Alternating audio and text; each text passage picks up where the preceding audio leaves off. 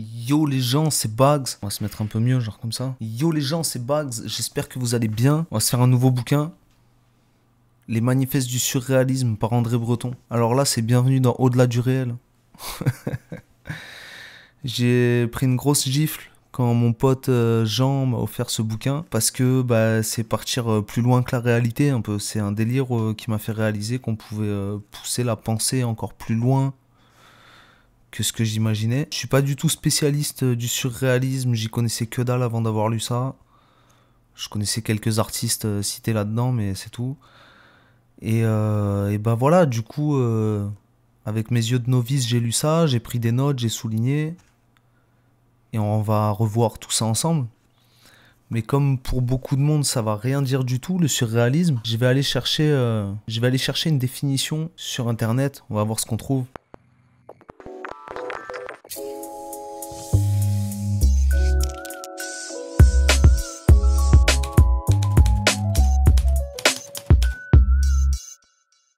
pile poil ce que je pensais. Je trouve une définition qui est pas vraiment compréhensible au premier abord.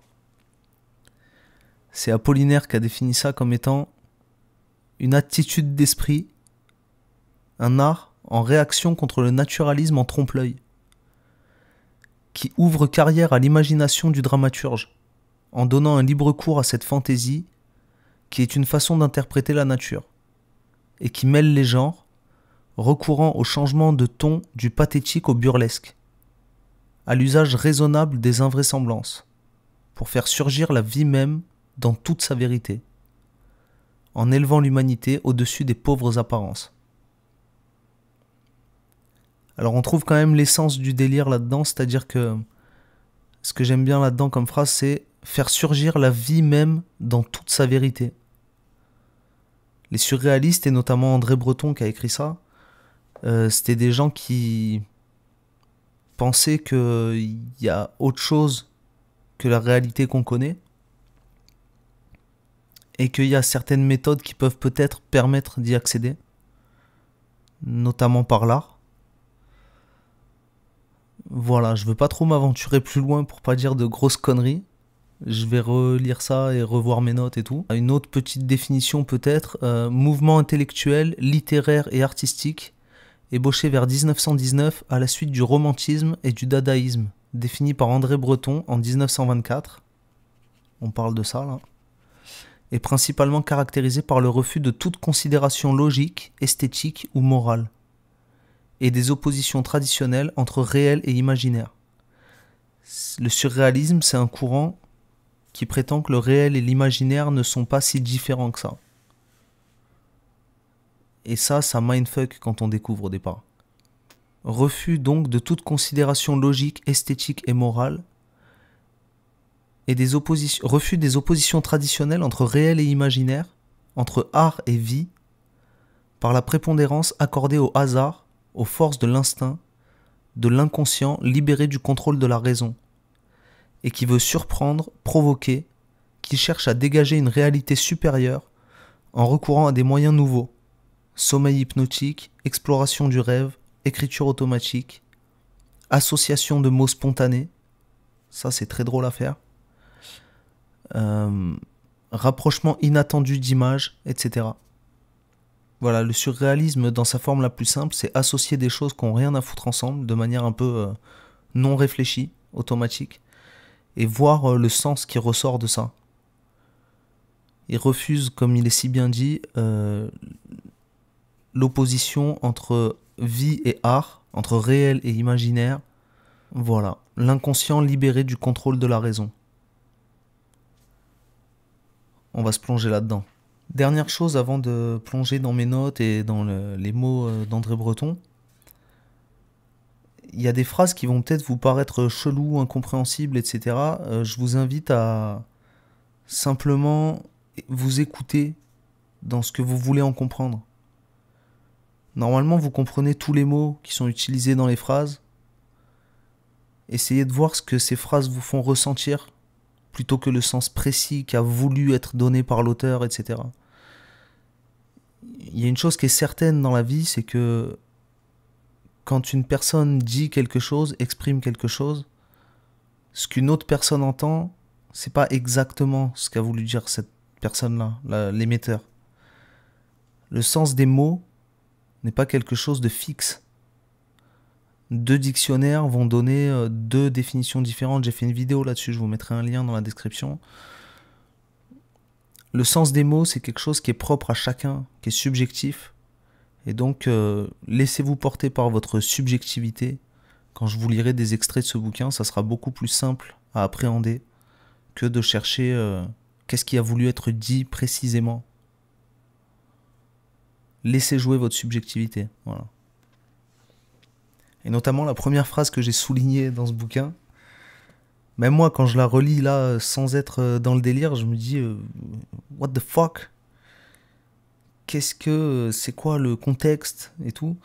Mais en fait, il y a du sens là-dedans. Je vous la lis hors contexte. L'absence de toute rigueur connue lui laisse la perspective de plusieurs vies menées à la fois. Il s'enracine dans cette illusion. Et il parle de l'homme, ce rêveur définitif.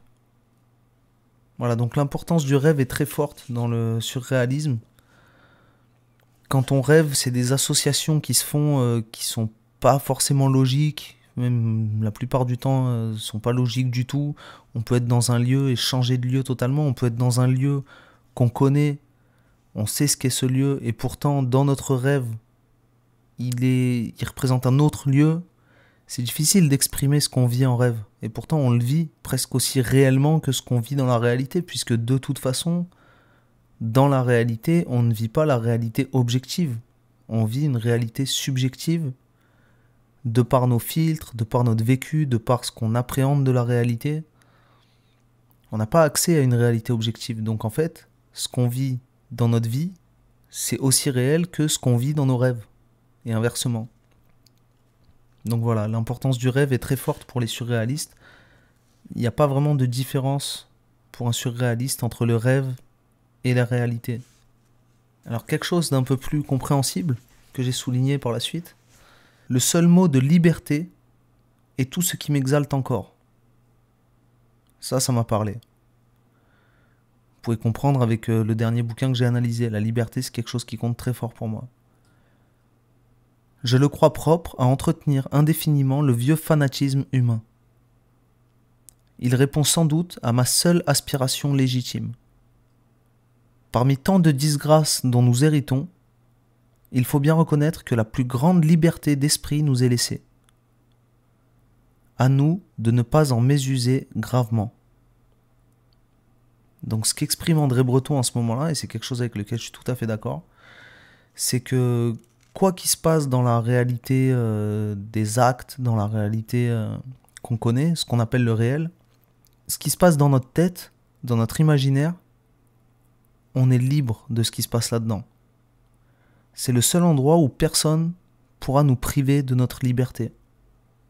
Et comme il dit, à nous de ne pas en mésuser gravement. Il faut avoir conscience de cette liberté et l'utiliser à bon escient. On est libre dans nos têtes. Faisons bon usage de cette liberté. Nous vivons encore sous le règne de la logique. Voilà bien entendu à quoi je voulais en venir. Mais les procédés logiques de nos jours ne s'appliquent plus qu'à la résolution de problèmes d'intérêt secondaire.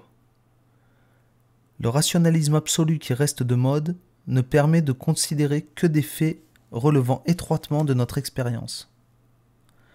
Les fins logiques, par contre, nous échappent. Et là, on commence à entrevoir un truc très intéressant avec Breton et le surréalisme, c'est qu'il veut appliquer des concepts logiques au monde de l'imaginaire au monde de l'inconscient, au monde de là où on est vraiment libre.